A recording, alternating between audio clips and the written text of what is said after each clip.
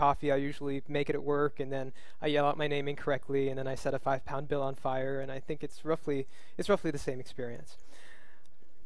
So let's dive back into the 90s. Uh, in the 90s, browser development tooling looked very, very different to how it does today. Uh, we sort of had a ton of bookmarklets and extensions, and we duct taped together some sort of tooling experience that helped us build what were relatively static sites that weren't particularly complex. Now, over time, um, things have changed. Uh, in 2015, we're increasingly building um, more and more ambitious applications. We're building things that require thought about the devices that we're supporting, motion, performance, accessibility, security. Um, and as we've been building things that um, require us to think more um, about the types of applications that we're building, we've also had um, to require our browser development tools to evolve along with us. Now, they've done a decent job of this. Um, in fact, cross-browser development tooling is actually at a pretty good place at the moment, and not just in Chrome, in, in Firefox and, and even Edge and other places as well.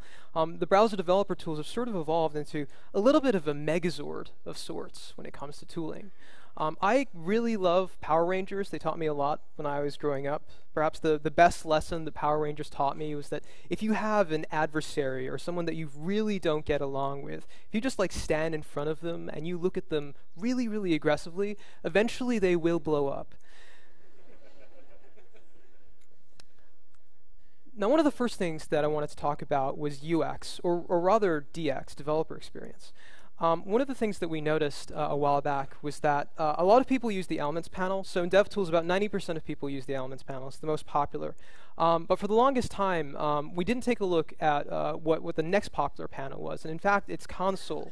Um, a lot of the time, you'll either you know hit escape and try opening up the console from the bottom of the screen, or you'll have to go to the very end of the DevTools. And we thought that rather than having to make you go through that pain, what if we just moved the console tab to second? So a few weeks ago, we did that. Console is now the second tab. It's way easier to get to it. Now, as soon as you start moving things around in a UI that people use every day, some people will start to get grumpy. Um, and they'll they'll ask you other things like what if what if I wanted to you know change the position of other tabs other than the console tab. So we started looking at this. Um, and again, a few weeks ago, we actually added in support for um, moving tabs. So let's say that you wanted to rearrange tabs. So you're working on like a performance problem. Um, rather than just having to have a static positioning to these things, you can move like the timeline, the audits, you can move um, anything to do with performance straight to the very front. So you're focused on just the set of tabs that you care about for the specific problem that you're working on right now. Um, I've been using this quite a lot, and it's really, really helped my workflow. Earlier on in the year, we discovered a lot of people were starting to write their I, am going to continue calling it ES6 until the day I die. ES 2015 code. They've been writing their ES 2015 code um, a lot in the console, just playing around with it and just using it for general debugging a lot more. Uh, so we added support for syntax highlighting to the console, so you get the same you know richness of syntax highlighting that you get everywhere else. Um, we've also added support for emoji. That was like a P0, very very important. In case you're wondering what the DevTools team are spending their time on, emoji is also supported there, so you have no excuse to not be using emoji in your console log statements. Works great. Uh, we've been doing a lot of experiments lately. One thing that we thought would be kind of interesting was uh, what if you know you could go to um, About Inspect or Chrome Inspect um, and visualize like your node apps there, so that you could treat them the same way that you could device targets. Uh, this is this work is still very very early on, but um, imagine if rather than having to use Node Inspector, you could just like open up the DevTools and start um, debugging your node apps directly from there.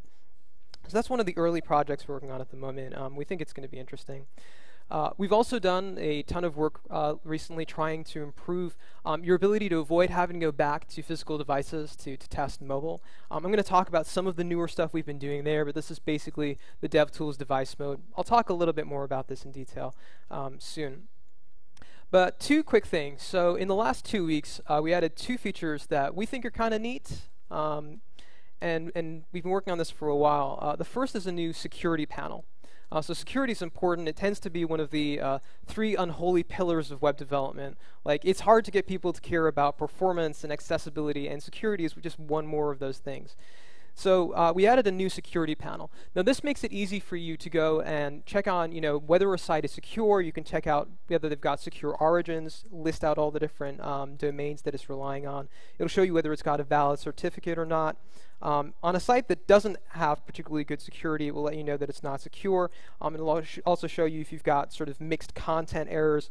Um, and if uh, there are resources we can actually point you to, so here, for example, you'll see that there's um, a, one particular site we're referencing here that's got mixed content. You can dive right back into the network panel and get a little bit more context around what's going on there. So that's the first thing we added in the last two weeks. The other thing is a new service worker panel. Um, now, for anyone that doesn't know what service worker is or haven't really played around with it, service worker is sort of a background thread of sorts that lets you control your network stack. So you can say, okay, well, I want this particular app or this particular set of resources to work offline. Um, it's sort of what AppCache should have been, but wasn't. Um, now, Service Worker, we've been working on Service Worker for quite some time, um, and debugging Service Worker has been a little bit of a pain. So uh, this is an app written by Paul Kinlan. Uh, it's called Airhorner. Um, if you haven't seen Airhorner before, the, the basic premise here is that it gives you a horn. Um, you go and you tap the horn, and it does that. Best app ever. Um, that's Airhorner. This is an app that um, has actually got service worker support, so you can you can load it up offline and it'll just work. But if you go into the resources panel, and you go into service workers, you can actually visualize the entire life cycle of events around your service worker. Um, this is way easier than it's been to debug in the past. You can actually go and debug your service worker scripts. Um, you can, you know, if you're building an app that's using push notifications, I, I think there's a talk about it later on, um, you can easily simulate those push notifications directly from this panel as well, which makes it easier to test. But service worker is one of those things that's probably more for the, the hardcore devs in this, uh, in this room. One thing that is important to everybody here, or should be rather, is performance. So slowness is something that we all care about um, or rather avoiding slowness. We all want to make sure that the apps that we're building are relatively fast because a slow experience where your users are still waiting for content to either load on the screen or they're still waiting to like scroll down something because it's incredibly janky, those are the types of experiences that can cost you when it comes to revenue, cost you when it comes to people actually coming back and trying out your app. And they're things that you want to avoid. Now, over the last year um, on the Chrome team, we thought it would be interesting to try framing the performance conversation in a way that made sense for the world that we're in today. So a lot of us are building for mobile. We're having to think about touch. We're having to think about limited device capabilities. Um, it's a slightly different world to, to, how we used to build desktop apps. And so we came up with this term called Rail, um, or backwards, it's Liar. Let's not, let's not focus on that. It's Rail. Um, so what Rail stands for is the first, well, the R stands for response. Um, that's the finger down experience. If someone is interacting with your app, if they've got their finger down on the screen and they're trying to move something around, or they're trying to open up a menu, or they're trying to do something with your page, that interaction should take less than 100 milliseconds for something to happen in. That is your budget for that interaction. We find that that works pretty well. The next is animation. Now, every single animation frame should complete in about 16.67 milliseconds. Um, if you factor in other things going on with the user's hardware, so they probably have other apps running in the background, they probably have some system processes, you've got less than 16.67 milliseconds. You've got probably more like 10. Now, if you chunk the animations that are happening in your app correctly, um, you can achieve this. You can achieve this without experiencing jank. But it's good to have this goal in mind, in particular when you've got some level of you know, delightful animation happening. I stands for idle. Now, idle time is the stuff, it's sort of the finger up experience. So let's say I've interacted with your app or your site in some way. Um, I'm now reading the content, or I'm taking a look at the game, or whatever it is that your app does. Um, I'm not actually doing anything with my finger on your screen, not doing anything with your app. That's the point in your app where you want to schedule work that you want to happen but isn't particularly important. You don't want that work to necessarily, you know, block the main thread. You don't want it to, to um, impact the user experience in a negative way. Now, traditionally, we haven't actually had a really good way for you to do this. Um, so recently, uh, we gave birth to request idle callback. Now, uh, for anyone that's familiar with request animation frame, request idle callback is a little bit it's a little bit similar. But basically, it gives you a way to tell the browser, here's some work. Maybe it's, you know, logging some analytics work. Here's some work. Go and do it when you find that there's not a lot going on. You've got some idle time. Um, and request idle callback is available in Chrome Canary today. You can go and try it out. There's a shim we're also working on you can test out. And finally, we've got load. Now, everybody knows about the importance of, of sort of load performance, but your goal there, um, particularly on mobile, is trying to ship the goods down in under a thousand milliseconds. Now, that's an incredibly tight budget. You know, a thousand milliseconds isn't a lot of time. Um, but we think that it's achievable, and the types of apps that we're trying to build today uh, use 1,000 milliseconds as our baseline. And we're not always hitting it, but we think that it's a, it's a good general target. So speaking of load, let's talk about network, um, the network panel, and the stuff that we've been doing there to try making achieving things like Rail a little bit easier. Now, the first thing that we worked on was Filmstrip. So let's say this is sfgate.com. It's a particularly not fast site. Um, and so we're in the network panel at the moment, and a new option we've added is this little video camera um, that has capture screenshots on it. So we're just going to hit record. We're going to uh, record this page. Um, we watch the, the network waterfall occurring and this slowly loading in the content. So we've already hit 198 network requests. This is great. 280, 305, 340. It's just not never ending. Um, but what you now get is actually uh, this whole pane, this brand new pane of screenshots that show you the network transition of, of what's been happening. You can see exactly at what point those pixels were painted to the screen. So we start off with this blank canvas, and then we start drawing all of these different components to the page. So you can see exactly when you know your first meaningful paint occurred. In this app, it was around six seconds before the user actually saw any real text or content that, that was useful to them.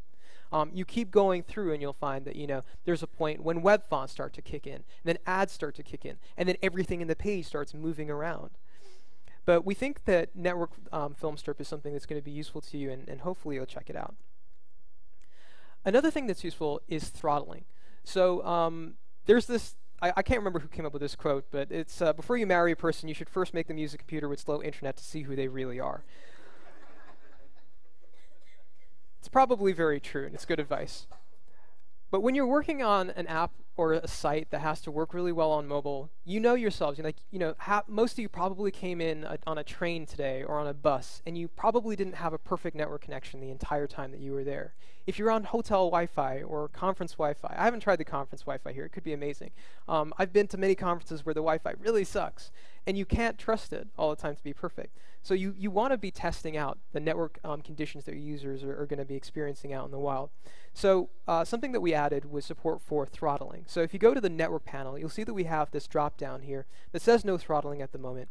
Um, and if you check out this little um, expanded box, you'll see that we've got a few options. Um, let's try out good 2G, which will throttle it down to about 450 kilobytes. And when we try loading up sfgate.com now, um, so here we've hit the white screen, we're still waiting for content, all of those network requests are still happening, but we don't actually have any meaningful content here. It's like 11, 12 seconds in, we're still seeing a blank page, um, still going, still going, still going. This is starting to feel like an npm install. Um, it's just like so 26 seconds in, I finally have some text, um, and maybe at some point I'll be able to see, there's some web fonts, and I'll, maybe I'll be able to see a picture of what's going on with us at some point. Um, but network throttling is just really good for, for getting to, to experience the real pain that your users feel out in the wild. Now, we think that the presets that we've given you are probably useful, but you might be targeting people that you know are maybe in emerging markets. Maybe they're um, going to be working with a specific type of network connection. Maybe you know the app that you're building is just for people that are you know working out of coffee shops or something. Um, so another thing that we've added is the ability to customize that throttling experience a little bit more. So this is Pinterest.com, and um, I looked up space cats because science and reasons. But uh, this is basically a page that contains a whole lot of images. There's a lot going on here. Um, and I'm just going to open up the DevTools on this page. And uh, we're going to refresh. So let's refresh this page and take a look at what the experience is like. Normally, it's got 196 network requests and 3.8 megs of data. It's not, it's not completely terrible. Um, but we're just going to toggle the DevTools device mode. We're going to go to Nexus 6 because we want to emulate Nexus 6. Um, and rather than going and setting it to one of these presets, we're just going to hit add instead. This is going to take you to the DevTools settings pane. I'm going to emulate a Starbucks network and say that the throughput is 100 kilobytes. Let's say it's a Starbucks with lots of developers, so 100 kilobytes seems decent. We're going to add that profile, um, close up settings, and uh, let's say that we're just going to go back to device mode. So there's two places you can set your throttling settings, either inside the network panel or inside a device mode. So we're just going to go, and you can see that Starbucks is now there. We've set Starbucks to be the, the throttling profile. Um, in this case, I'm just going to load this up directly from about blank so you can see exactly the, uh, the speed differences in loading this up. But it's now taking effect. We're starting to load in content. The waterfall is very, very slowly trying to bring things into the page. We're still sort of very early on in, in terms of being able to draw content here. Um, but just being able to, to have full control over the network throttling stack is kind of useful. There you can see that, you know, in 20 seconds we finally got um, some, some sort of shell of this page with text content loaded up. So that's, that's sort of custom network throttling profiles. Um, another thing that uh, we're working on at the moment, it still requires a little bit of polish, um, but it should be out soon, hopefully, is the ability to block network requests. Now, um, this is this is what we call a hidden experiment. Um, do you know the way that when you're defining a new password today, it's got to have like you know alphanumeric characters, it's got to have numbers, it's got to have you know prose and character development and then a mystery ending and all that stuff. We thought it'd be interesting to make the process of enabling hidden experiments just as easy. So there are like four steps involved in enabling hidden experiments. You've got to like go into about flags and relaunch Chrome and then hit shift six times. Um, I can see people taking photos of this. That's, I'm sorry. Um, that's, that's sort of what the experience for enabling hidden experiments looks like. I'll post these in the slides later on. But when you enable hidden experiments, you basically get these like, th these are like highlighted blocks of shame, but they basically mean we're working on these features. Request blocking is the one that you're going to want. Um, this is BuzzFeed. So BuzzFeed is is always it's the it's the height of journalistic integrity. This is BuzzFeed's uh, website, um, and this is a page where they basically have uh, a whole ton of animated GIFs that are not being lazily loaded in. Um, you you have a ton of stuff being loaded on this page at once. Let's actually take a look at the network um, waterfall for this. We're just going to load up this page, and there we go. The horses are off. We've got 15 megs in already. That's fantastic. 18 megs. This is this is just great. Um, okay, so we're gonna arrange. Let's let's use the let's use the columns. We're gonna um, arrange this waterfall by size, and you can see that some of these images are like three three and a half megs in size, 1.7, 2.5. Now, the cool thing about blocking requests is that if you have like if you if you're guessing that there's something slow on your page, rather than going back to your development team or the person sitting next to you and saying like, "Can we drop that and see what the impact is?" You can just block that individual request, it'll get added to a separate new panel at the very bottom. So in this case, I want to see what the impact of trying to lazily load this stuff in is. So I'm just going to block these for my initial page render. I'm going to block some of those um, large images. We've blocked maybe six or seven of them. Let's refresh this page now to take a look at the impact on the network waterfall. Now, this is still not going to be amazing. This page is like seriously slow. But in this case, we've managed to reduce it down to about, was it, 12 megabytes still, which is probably better for BuzzFeed than what they had before. Um, but I'm going to show you where uh, this feature is really useful in a performance case study. So imore.com is a site that is sort of, it's sort of a news site for iOS devices and, and stuff like that. Um, and they've got some interesting performance issues uh, that I found interesting to try out with the, the blocking network uh, request feature. So what we're going to do in this case is we're going to emulate a Nexus 7 tablet loading up the site. Um, and I've currently got it set to throttle at, at 3G speeds. Um, this is something I might read on a, on a train, for example. So we're just going to go and we're going to load up this page. We're waiting for the network waterfall to complete. You can see that it's taking a while. We've got some background colors, we've got some images. Uh, this should be complete hopefully sometime soon. Maybe. Eventually. Still going. Still going. Got some ads in now, that's great. Right, it's it's it's enjoying its time. Um, right, so we're we're sort of 32 seconds in, um, and we're still waiting for this page to complete. And is it done? It looks like it's done. Yay. All right, so um, let's take a look at what the, uh, the screenshot, the film strip looks like for this particular page. There's a lot going on. So at six seconds in, we only have like the header's background colors. Uh, we then have the images. We have some some thumbnail images. Um, it's actually not until nine and a half seconds in that we have any meaningful content on this page. Um, when you start to sort of go through the other frames and you look at what else is happening, um, a few seconds later, you start getting the first web fonts kicking in um, and the page starts to change a little bit. You keep skipping through. So 15 seconds in, we've got um, half of the web fonts loaded in. You keep skipping through, and you'll see that over time you then have the ads and the rest of the content um, loading in as well. But this experience is like super duper slow. So let's try to find out why that might be the case. So um, there's a lot of different content here. Some of it's third-party widgets, some of it's ads, um, some of it's other really gnarly stuff. Uh, what we're going to do is if we right click on the column headers inside of DevTools, you can control um, how we break down that data. So I've decided to organize this data by um, end time, so when the, the network request actually completed. Um, and what we can see here is we we seem to have some plugins that aren't necessarily related to this, to this page. We've got a jQuery ClueTip plugin. We've got some weird mobile passport CSS file that's loaded in. We've got some font awesome icon stuff that's in this page as well. Got some Google plus one scripts. Go Google, great. It's also slow. Um, that's that's like one of the challenges. Like literally everything is slow uh, at the moment. Um, but you've got other stuff. So let's see what else have we got on this page. Um, we're scrolling through. So we've got this this one script TMN head actually doesn't look like it takes a lot of time, but it's sort of a it's an, it's an interesting mystery because um, what I'll show you later is that this is actually responsible for dyna dynamically creating additional network requests that are also slowing down the page, um, and that shows up in the initiator column. So things like the uh, the prebid.js thing has got like TMN head right there. And there are our first set of web fonts. So we've got a ton of different web fonts that are being displayed here. Um, I'm not entirely sure why you might need five or six different types of web fonts on your page. I'm not judging. But there's a, an extension you can get called WhatFont that's kind of useful. Um, basically, what WhatFont lets you do is you can select a piece of text, and it will tell you exactly what font was being used, what web font was being used to, to like render it. And you can also see um, sort of you know whether there was enough difference there for you to, to warrant having that in your page. And I know that this is a little bit small because I'm in emulated mode, but you're just seeing just like the fact that there are definitely a bunch of different web fonts uh, in this page that you possibly don't necessarily need to have.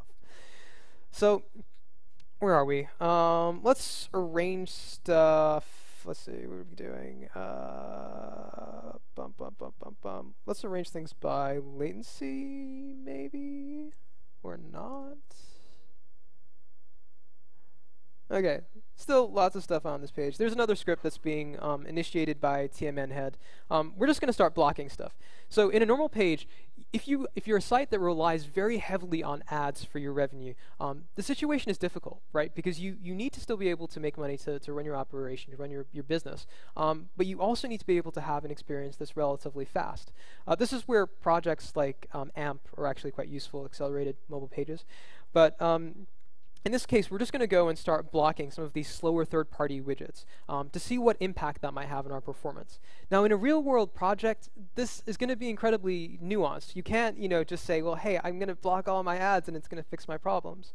Um, you might be able to gather enough data to go back to your ad services and be like, hey, guys, can you, like, maybe speed this up a little bit, please? Um, in this case, I'm just going and I'm blocking a lot of those resources that the ads in this page are loading in, like all of the additional style sheets and different libraries and scripts and stuff. There's a ton of beacons. There's like Chartbeat stuff and other bits and pieces being loaded in here. Um, you probably don't need 339 network requests on a, on a normal decently performing page. So we've gone and we've blocked a bunch of stuff. They'll show up in red if they've been blocked. And we're just recording the frames in this page at the moment to see what impact um, network blocking, just a few of those widgets, has had on our overall performance. So it's still, you know, the page is not, it's not incredibly fast, but it's, it's loading a little bit faster than it was before. Um, and if we take a look now, you'll see that um, our background colors are in there at 2.78. Our first meaningful paint is now occurring at five and a half seconds. So this is the point where the user has got text on the screen that they can read. They can scroll through and they can actually read and consume your content. Um, that's, you know, that's, that's more than 50% of a difference of what we had before. Almost more than 50% of a difference. Um, but you know, this is again, this is incredibly nuanced. I just think that you know, using using the the um, network block and request feature is sort of useful for for you know, seeing if you've got uh, a guess about what's slow and trying it out. Um, you can go back and try to make a difference to it. So uh, next, let's hit up timeline.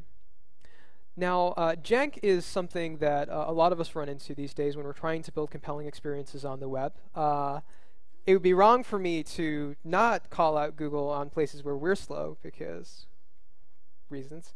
Um, so this is Google Play, and uh, when this is what I'm going to do is I'm going to open up um, Timeline, and this is a page where we've actually got um, a lot of lazy loaded behavior. So if I keep scrolling down this list of movies, it's going to keep um, appending items to this list.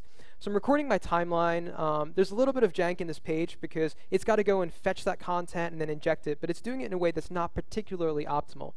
So here we've got like a whole lot of stuff happening. But what I want you to pay attention to is this area of red at the very, very top of the timeline. Now that area of red, that like almost thick red bar, is in fact little triangles. Just like lots, hundreds of little tiny red triangles. Um, now in timeline, if you select a block um, of action and it's got a little tiny red um, triangle on it, that means that it's an indication of jank in your page that you should probably try fixing. Um, if you click on, if you're not sure what jank is and you haven't really come across these concepts before, don't worry about it. Um, if you click on the jank keyword uh, inside a timeline, we'll actually take you to all of our new docs that cover this topic in detail and show you how to, to walk through trimming down the jank in your pages so you don't experience jitter um, when you're trying to scroll down or anything like that. So keep an eye out for those red triangles. They're very, very important. In this case, um, what was slow was we had a really long-running XHR, um, which then just like took way long. It was injecting stuff into the page in a very um, slow way. Now, I've shown you the film strip in the network panel, which is great for your initial load experience, but what we thought would be interesting is also adding this feature to the timeline so that you can also profile um, what it's like when you've got interactions that are happening post-load, so when the user is perhaps interacting with your page in some way. So here we've got timeline, um, and if you zoom in, you'll see we've added a new checkbox called screenshots. So we're just going to check screenshots. Screenshots is checked. And I've got a Tympanus demo up um, at the moment. This is using SVG clip paths. And when I click on this, you'll see that we have this really beautiful effect um, that just transitions into the next view. Um, I've recorded that. I'm just going to stop the recording now. And what you'll see is we have this new film strip that's also available in the timeline that shows the progression of that animation. I can actually stop and highlight any block within the timeline now. I can see exactly what part of that animation was responsible for, for jank or slowdown. I can see some of those red triangles again, um, and that, that gives me a really, really clear indication of what needs to be fixed up, where I need to be spending my time improving this animation a little bit further. And you can then, you know, dive down and find out all the different um, records that are responsible for, for, for, you know, drawing that thing to the screen and, and you can hopefully then optimize it a little bit further. So that's film strip or screenshots inside the timeline panel. Um, aggregated details is sort of huge. It's my it's one of my favorite new features. Now, normally when you think that you have a performance problem in your site or your app, you will go and you'll play around with like network, you'll play around with memory, you'll play around with timeline, and you'll hopefully guess that something looks like you know it's it's wrong or broken. Um, and sometimes that's not quite as simple as you'd like it to be. Um, I swear I'm not picking on sfgate.com, but we're on sfgate.com again, uh, which is a slow site. And um, we're on the business section at the moment. Um, I'm just going to open up their menu and go over to sports. Still recording my timeline. Um, I've actually had to really speed up this screencast because they're that slow. So I'm, I'm jumping 30 seconds at a time just so we don't we don't we're not waiting for this page to load. So 81 seconds in, it's it's still it's still doing its stuff, um, and that is basically what the the timeline records for this page look like. I have no idea what's going on here. There's just like so much crap. If you have a page that basically has, uh, you know, um, a, a, a, a, strip that looks like this, be worried. Be very, very worried. Um, now, rather than diving in and, and, trying to figure out what's going on there, I'm just going to go straight to the aggregated details panel. What this tells me is it breaks down by costly functions exactly where time is being spent, and it'll attribute it to either a script or a domain. So I know exactly whether it's my third-party widgets or my ads, or my video players, or whatever it is that's actually causing this. In the case of this particular page, we can see that um, there was a site called Perform Group that was causing us issues. Um, I can also group this by URL. So I can see just by telling, um, just by reading this URL off, that there's actually a video player using AngularJS that's particularly slow in this page. They've got ad managers, they've got Twitter widgets, they've got um, more and more ad managers and stuff. Um, and also group this stuff by domain and find out exactly what domains are responsible. You can click through and take a look at the source that's responsible for your slowdown so you can try to understand exactly why a function is particularly costly. Um, but this is just a really big time saver for you. Like if you think you've got a problem with your page, go to aggregated details. Take a look at exactly, you know, is it is it a problem with your site, which might mean that it's going to be under um, unattributed or your actual domain, or is it a problem with something else that you're including in your page that may or may not be out of your control? So check out the aggregated details pane. Um, another thing I thought would be interesting is, is diagnosing a, a, a, small app. So we've got, this is a Hacker News app. Um, the idea here with this app is that um, as you scroll through, it's going to keep loading in news stories. Um, and in fact, I'm just going to run this and, and, show you what it's like. So we're just going to record our timeline. Um, as we scroll, um, you'll notice that the colors of the state for each article um, is changing. So it changes from a dark gray to a slightly um, lighter hue, um, and then it'll turn really, really bright as soon as the article is available. So we're just going to hit finish. Um, I recorded that interaction. And uh, what you'll find, so let's wait for the records to just load up and they'll hopefully be done real soon. Okay, so when we start off at the very beginning, um, you'll notice that everything is fairly good performance-wise, and then we hit these red, you know, this really big red line of, of stuff as soon as we start scrolling. There's a lot of different stuff happening here, and what you'll notice is that a lot of these blocks are very similar, meaning we've got repetitive behavior. Um, that's probably a single problem that we can fix. So here we've got um, a particular frame of expensive time. It's taking up 58 milliseconds. Remember that I told you for a single animation frame, you, you should be keeping it under 16.67. So I've clicked through, um, and I can see that on scroll, I'm actually doing a lot of work here. And I'm calling this one function called colorize and scale stories. Let's jump through to the source for this.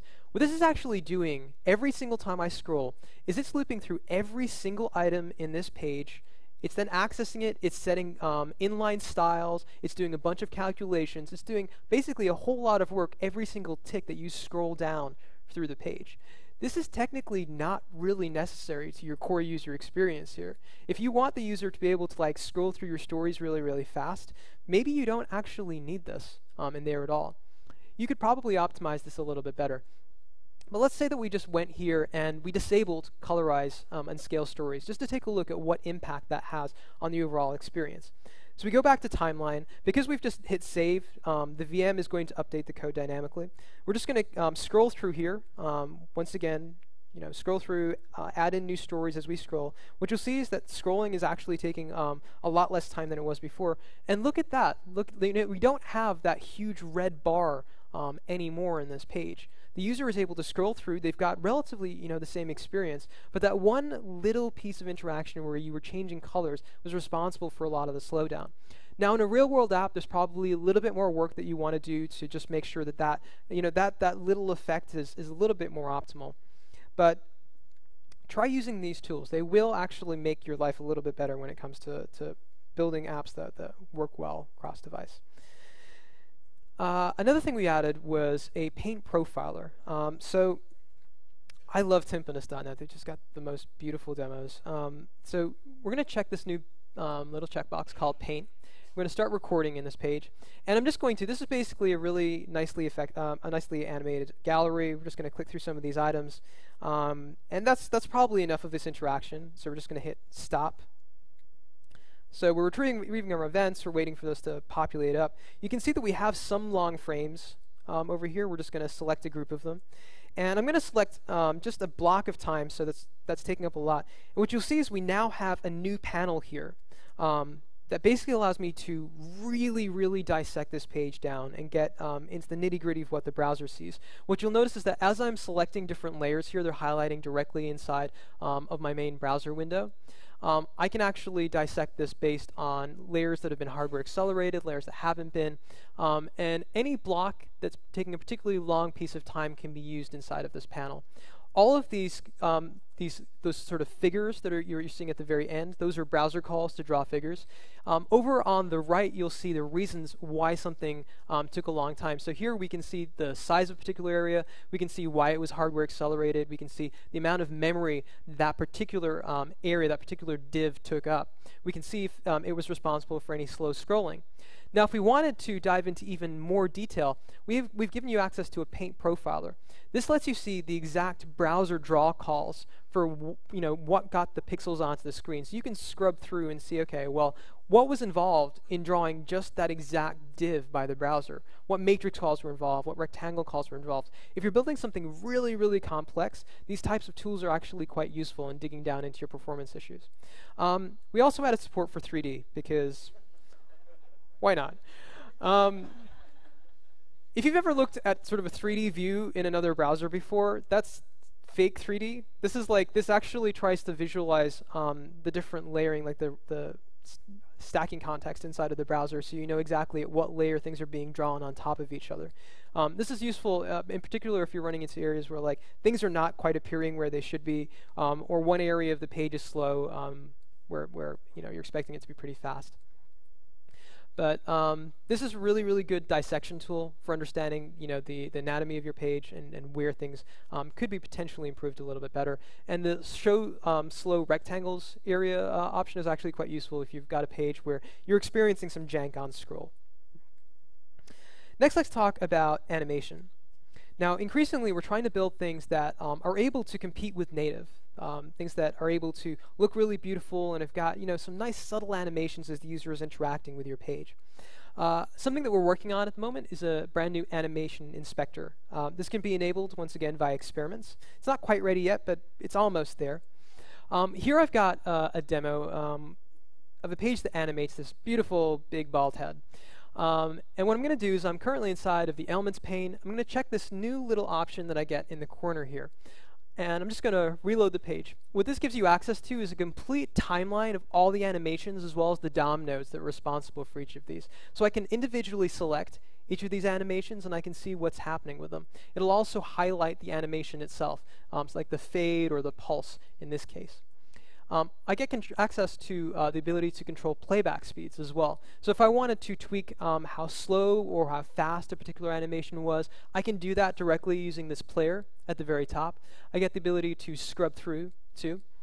And if I wanted to control the speed of any individual animation um, as part of my CSS transitions here, I can actually go and edit those. I can scrub through, um, as I was mentioning, and uh, we can just go and we can play back this effect to see in real time what it would look like. You don't have to go back to your editor and make those tweaks. You can just do it directly inside of the DevTools. Um, this is sort of really, really useful if you're building anything that is supposed to move on the screen, um, and we hope to have it uh, out of experiment sometime soon. Uh, something else that we added uh, a little while back was the cubic Bezier editor. So uh, this is Lea Verou's uh, cubic Bezier tool. And what this basically allows you to do is go in and edit um, Bezier equations. You can control sort of the duration. You can see sort of the progression over time um, for any of your, uh, your Bezier equations. Um, and you can preview what they look like in real time. You get a bunch of different presets for them too. Now, we thought it'd be interesting to try baking something like this directly inside of DevTools. So what we're going to do is we're going to go and quickly query for those two boxes, so the purple and I guess cyan colored boxes, and you'll see that those are two canvases. And if you click on the cubic Bezier equation, what you get now is a cubic Bezier editor directly inside of DevTools. It has presets for um, different types of Bezier curves that you can use for configuring the animation. Um, you can go and you can directly tweak the curve yourself if you want to as well. And if we hit go in this page, because we're applying all of this in real time, you can preview what it looks like inside of your page. Um, at the very bottom, um, you also get access to a bunch of presets like linear and ease in and insign, um, so you don't have to go and like Google for those options. Um, again, just a few more tools we're adding to try making motion and animation development on the web a little bit more pleasant. Um, if you're working with views at all and you're trying to animate those views in, sometimes you'll find that it's a little bit tricky to understand what exactly is changing inside of the DOM. So here's um, another Tympanus demo where uh, I've got I've got my my DOM tree open at the moment, and I'm just going to go and I'm going to animate in the next view. What you'll see is that we're highlighting in purple any of the classes on nodes that are changing. So if, for example, you're wondering, okay, well, I've got a bunch of different um, divs in my page, I'm not entirely sure what it is that I'm animating, um, these highlights are actually quite useful for like quickly visualizing, okay, well, that's the one that's currently animating with the wrong classes. I need to go in and tweak that up a little bit. I believe that's currently in Chrome Stable. You can go check it out. Now, on the DOM and styles part, I thought it'd be interesting to cover this stuff because sometimes, you know, sometimes you go to a developer conference and half the audience will be designers, half will be developers, and it's always good to cover this stuff anyway. So, in the Elements panel, um, we've been putting a lot of time into color recently. Um, one of the first things we added was the ability to get uh, an eyedropper tool, so you can select any color in your page and go and play around with it. You don't need to use an OS level tool for this stuff. Um, that's been in there for a while. But something new we've added is uh, support for color palettes. So the first thing in color palettes that you get is the ability to break down all the different colors available in this current page. So we'll go and we'll pluck those out. And if you're trying to tweak um, your design, your layout, this is really, really useful for just being able to generate a palette um, that's particularly useful. Uh, next, we've added support for the material design colors. So Google's material design um, style guide, we've got all the colors from there baked in as well, so you can go and tweak around that. Um, if you're building an app that's perhaps using Polymer or Material Design Lite or something like that. Um, and finally, if you're uh, someone that's, you know, again, a designer, we've also added support for custom color palettes. So you can actually go and across all the projects you're working on, you can define um, a bunch of different palettes that will be saved inside of the DevTools Elements panel that you can access later on. Um, everyone knows that CSS is awesome. It's the, it's the best thing ever invented never dies. But finding CSS selectors in the DOM tree can sometimes be a little bit tricky uh, and something that we could probably improve. So something that we put a little bit of time into uh, was trying to improve the search experience for finding things inside the DOM tree. So I'm currently on codepen.io, and I want to find something in the page. Now, instead of looking for it by just a string, I'm going to use a selector instead inside of the search box. What you'll see is it's first of all found me exactly what I was looking for. I'm actually interested in inputs inside of here. So I'm just going to expand that to say class input. And I can actually now just go and traverse up and down the DOM tree using my, um, using my find um, to look for exactly what I'm looking for without needing to know the name of any of those, those nodes, without needing to know um, you know, exactly what class names they perhaps are using. Just a little tiny thing that can, can maybe save you a few milliseconds every day. They add up over time. Um, how many people here have heard of elevator.js? Just like a few people. Okay, a few people. I love elevator.js. This is basically what elevator.js does. So let's say that you've got a, you know, a page with lots and lots of content, and you know you have to scroll down to the very bottom of it because reasons. Um, what elevator.js does, is it basically gives you this nice, nice little button at the bottom, and you just click it, and uh, this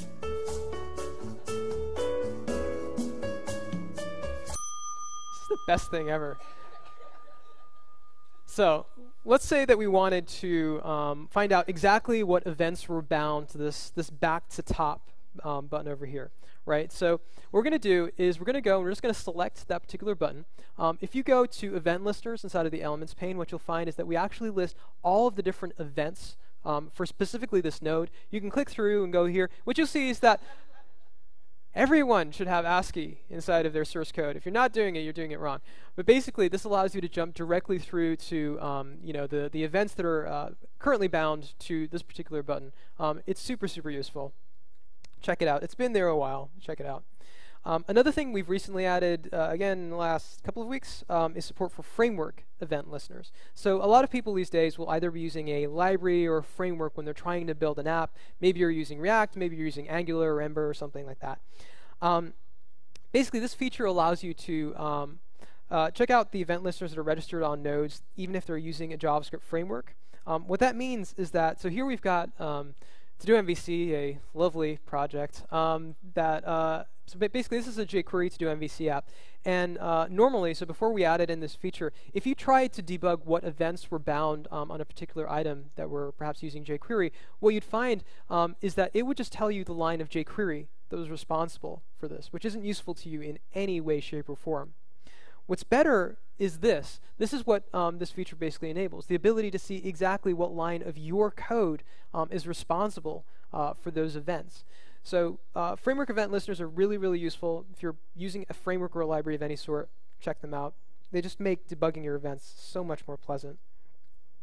Um, something else that we added in, I'm not entirely sure why, but it's useful, um, is the ability to edit HTML directly inside of the console. So here is the Canadian government's website. Um, it had an image carousel, whereas the UK government decided to make their pages fast. Um, so, yay. So I'm currently inside the console. I'm using $0 to query um, the first image on this page.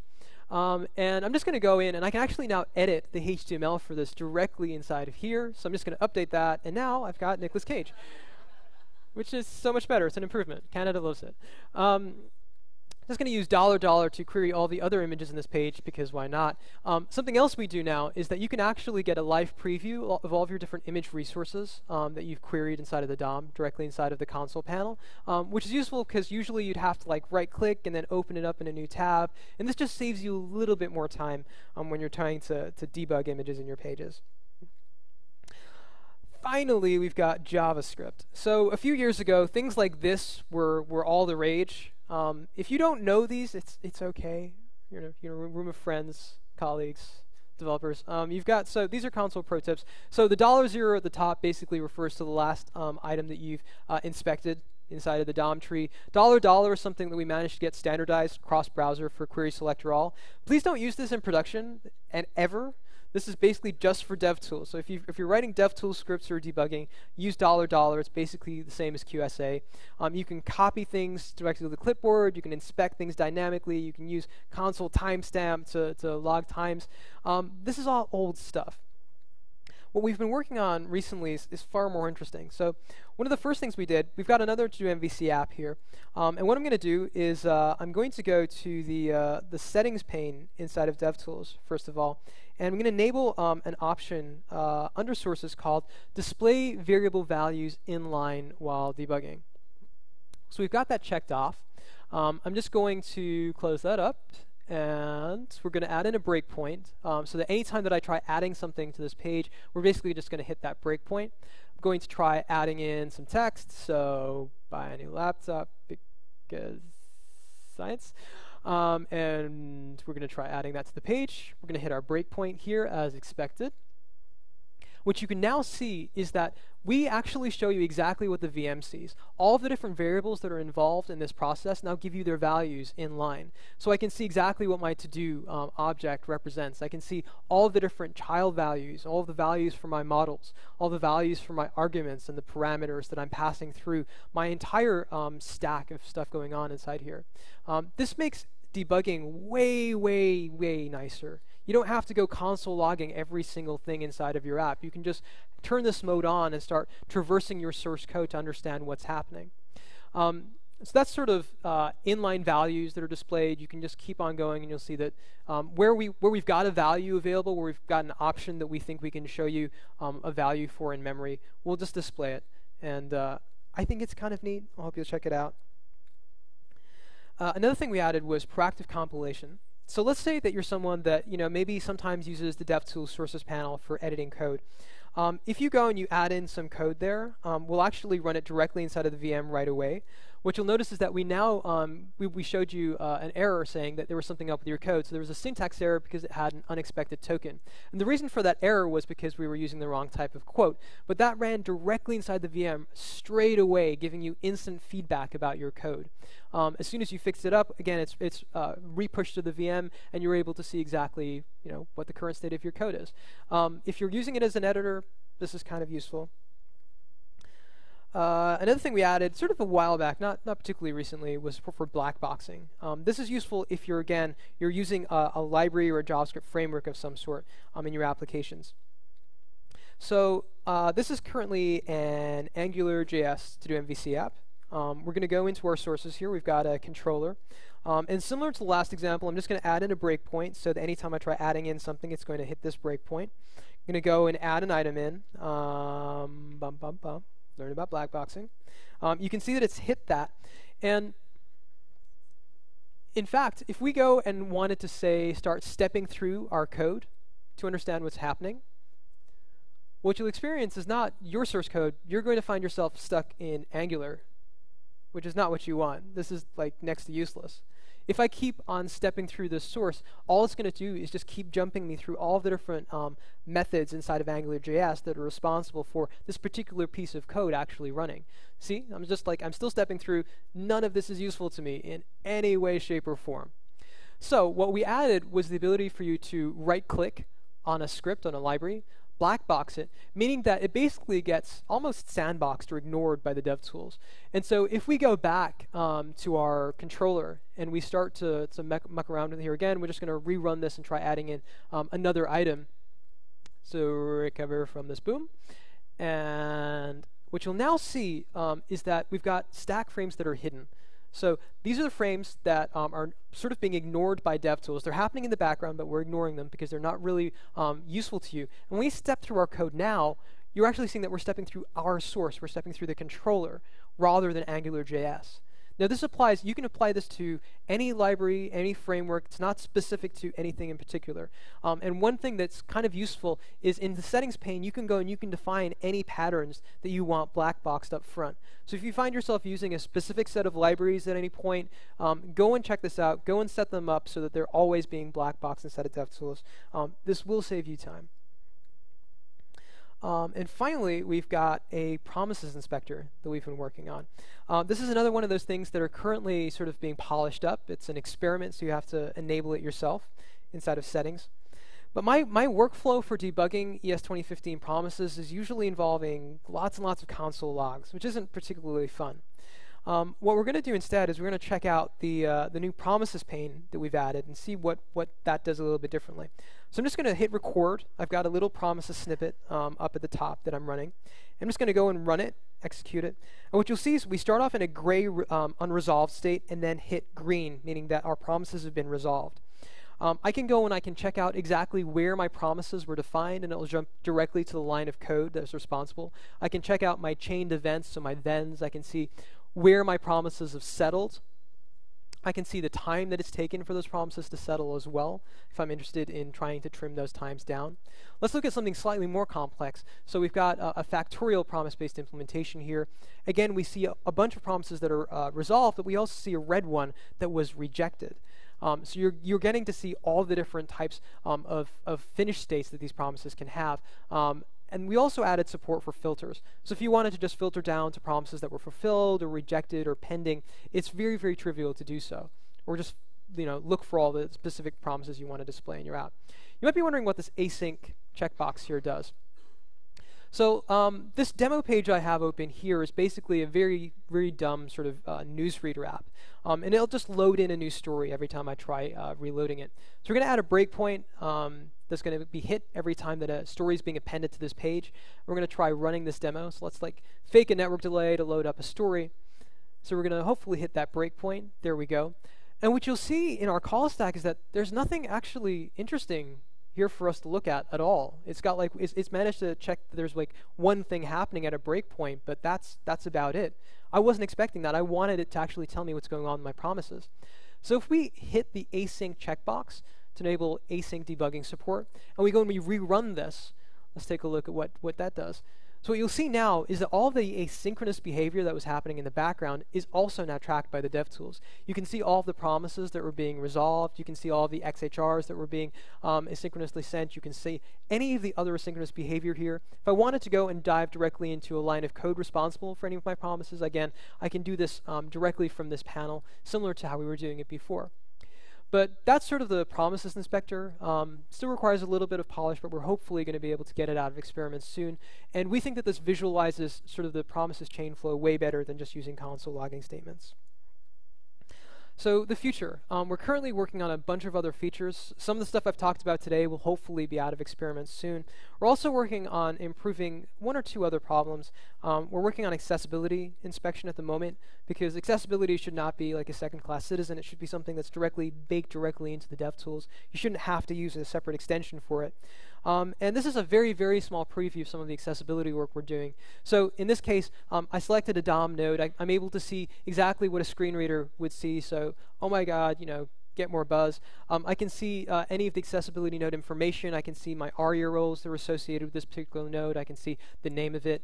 Um, we're also working on uh, color contrast uh, tooling as well, and some other things that will make accessibility debugging a little bit more pleasant. But there's just there's lots of stuff coming down the pipeline, um, and there's no way I have enough time to talk about all of it today. But if you're interested in learning more, um, please check out the DevTools documentation. Um, it covers a lot of this stuff in, in a lot more depth. Uh, Umar Hansa also has an awesome site called uh, DevTips, which covers sort of bite-sized DevTools tips and includes like animated GIFs for all of this stuff too. And uh, Paul Lewis has got a really fantastic browser rendering optimization course that's free and you can go and check out.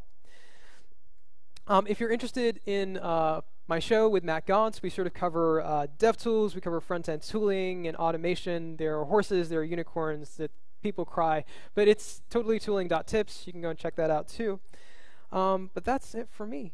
Thank you very much.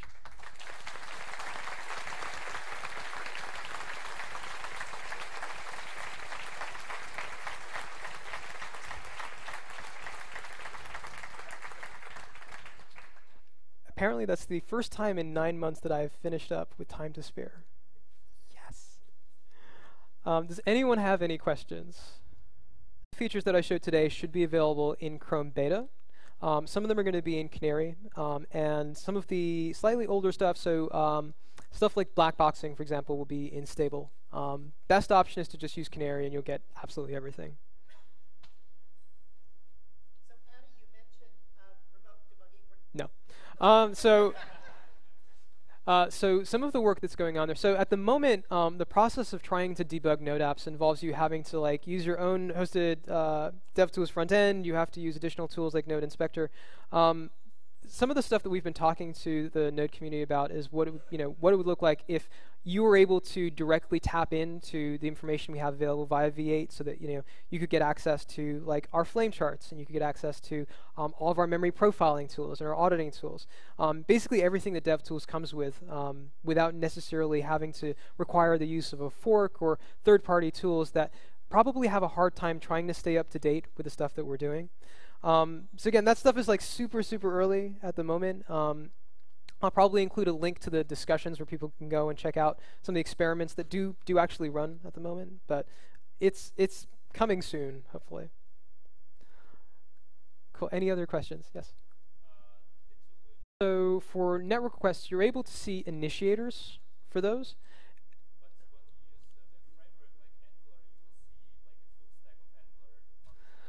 Um, bum bum bum. Can you do that? I think at the moment the closest you can get to is the initiator column. Um, there's probably more work that we can do there to help you dive back in. I think that I think that doing that would probably be the next logical step after blackboxing and framework and event listeners. But um, we should probably file a bug for that and see see if we can explore it. Cool. Any other questions? Uh, that's, that's using sort of the same um, machinery that Workspaces uses, but it's not specific to Workspaces. So if I um, go to the sources panel and I go and um, you know maybe I'm running an app on my local host and I go and I, I start editing it, um, I can save those changes that I've made and it will patch it directly to the VM right away. I don't have to have a workspace set up for it. Um, if you're working, if you like using DevTools as an editor and you've got Workspaces set up, you'll you'll get all of that stuff for free. Any other questions? So by turning the profiler on, it speeds up your code.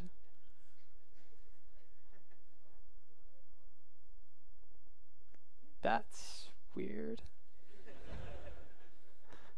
that sounds like a bug that I didn't catch, and I should probably take a look at it. Um, yeah, I don't have a good answer for that. I am mostly perplexed, and we'll we'll take a look at it right after this. Um, any other questions?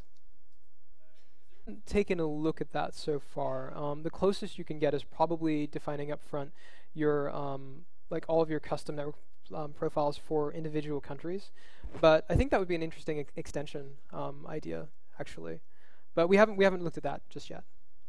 Um, my time is apparently up. I'm more than happy to answer other questions and eat up other people's time, but my time is apparently up. Um, feel free to grab me after if you if you have any further questions. Thank you.